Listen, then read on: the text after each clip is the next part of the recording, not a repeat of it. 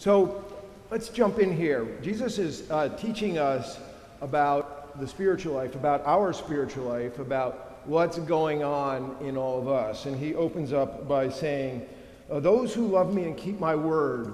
So we know from reading the Gospels that Jesus does not actually often talk about loving him. Uh, there's, uh, you know, in the Hebrew Scriptures and in the New Testament, there's all sorts of talk of loving God. And in the later epistles, there's some talk about loving Jesus, but Jesus is saying, For those who love me, and if, if you love me, you will keep my word, you will keep my way. And uh, if you love me and you keep my way, he then goes on to tell us that the Father will love them, will love us, and we will come and make our home with them. So let's talk about this question of home.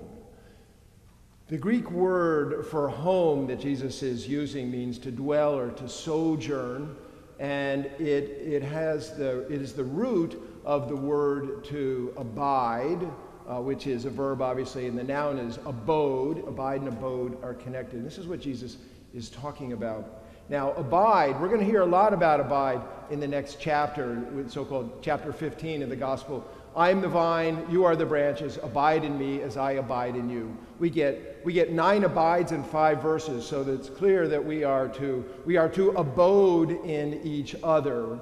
And, and then twice in the New Testament, twice in John's Gospel, and actually twice in chapter 14, we get this word about home, abode. We know this incredibly well. So uh, I'm pointing here because uh, of all the funerals and the readings that happen from the lectern. In my Father's house are many mansions. That is this word mansions or dwelling places or many rooms.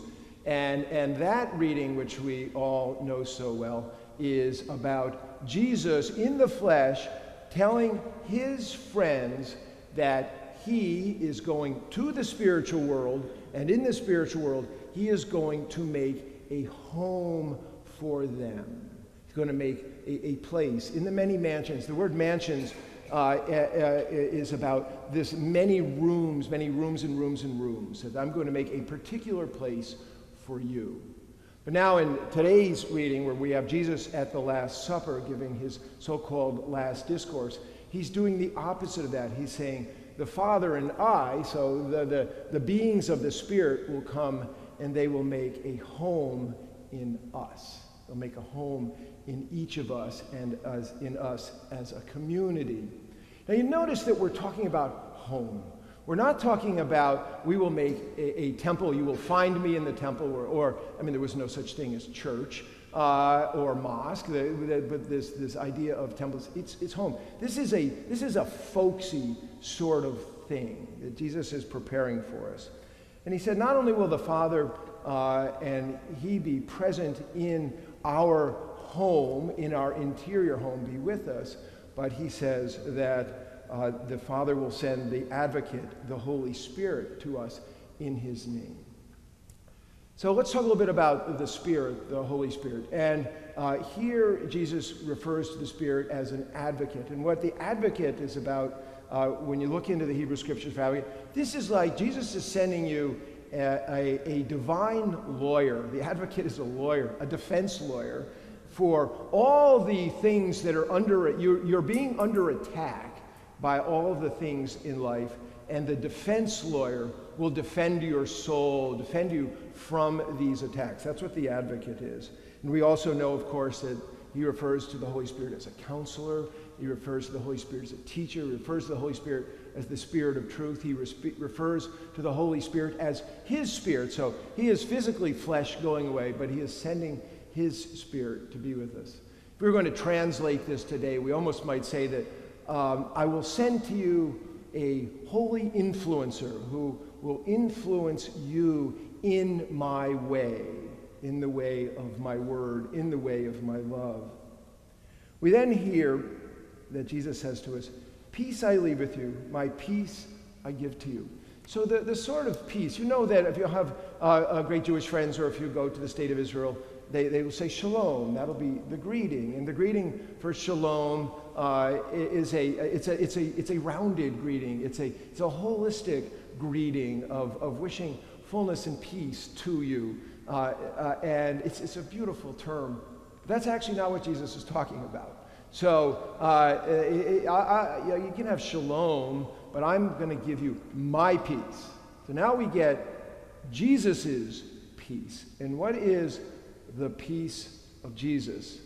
When I was a boy, we had an Italian priest in our parish who used to say, Peace of Christ, peace of Christ, peace of Christ. And, and it, it caught my ear. So as a kid, I was always kind of, the peace of Christ was kind of this thing that would, would play around in my brain.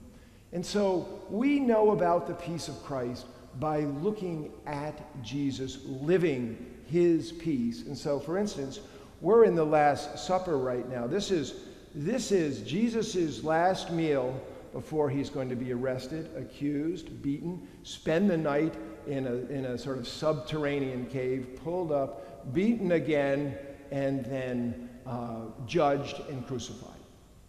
And in the night before all of this, he speaks of peace, he speaks of love, and he seeks to comfort his friends. He is undeterred by the central love peace that he feels in the depths of his being, by the chaos and violence and trouble all around him. And he is seeking to give what he has to his friends. And he says to them, I do not give you as the world gives. And so, in other words, we all want peace, but the world can't give it to us. The world is not a peaceful place. It just is not a peaceful place. And if we're looking for peace in the world, we're always going to be disappointed. The world is an anxious, anxious place. And the peace that Jesus gives us is a spiritual peace. It's a, it's a peace that, uh, as we later hear, the peace of God, the peace that passes all understanding, this is a spiritual peace that is for the depths of our being. That's what Jesus is talking about. I'm going to give you something that the world can't give to you. If you want this, you're going to have to come get it. And it's, it's for all those who love me and follow my way. I'm giving that to you. And he, then he says to them, Do not let your hearts be troubled, and do not let them be afraid.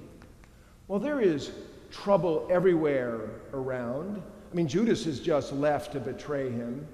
And, and he says, you know, don't be afraid. You know that in the scriptures it says over and over and over, do not be afraid, do not be afraid, do not be afraid. We all know that our world is seriously troubled and fear is wildly out of control.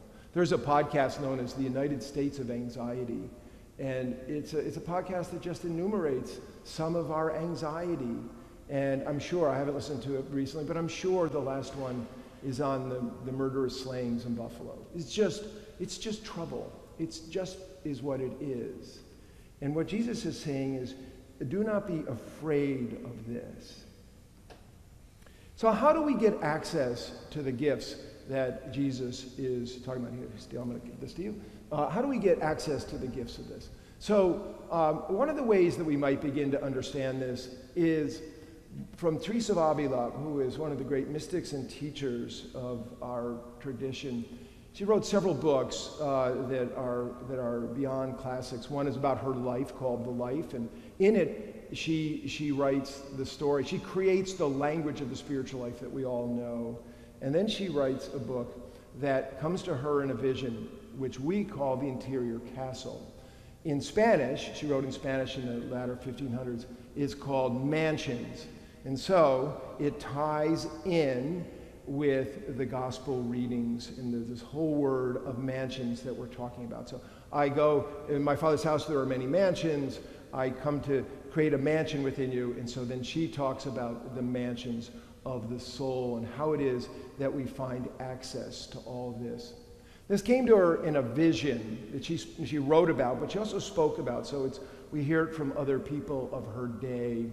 And in the vision, she had the vision of the human soul as a glittering uh, crystal or diamond, and it was beautiful beyond belief.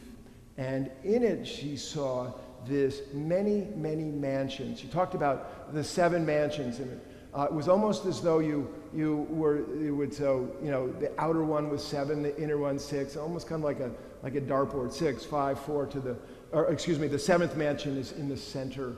And then in her vision of this, she also sees what's outside the, the mansions of the soul. And there she talks about the moat. And in the moat, she sees darkness all around. She speaks of, of, of snakes and vipers that bite us. And she said, There are people that live their whole life outside of their soul. They live in their bodies, but they have no idea that they have a soul. They have no interior life per se. And she said, Oh, what a, what a tragedy. This is like somebody living in a country, in a village, but not knowing the rest of the, the, the country and world that's out there. And uh, she talks about this in such a way that for people who live lives outside of their soul, it's free game. It's free game for these people.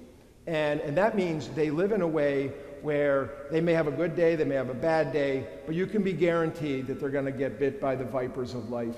They're going to get bit by the snakes of life. And then in this darkness, it's just a really rough go. It's a really, really rough place to be. And then she talks about for those who begin to understand that they have a soul that is brilliant, that has these mansions. And the mansions not only go this way, but they go, they go this way. It's a, it's, it has a kind of diamond shape to it, like this, as she understands it. And, and in this mansion where there's many rooms, she said the outer rooms of the mansion are the rooms of self-knowledge and humility.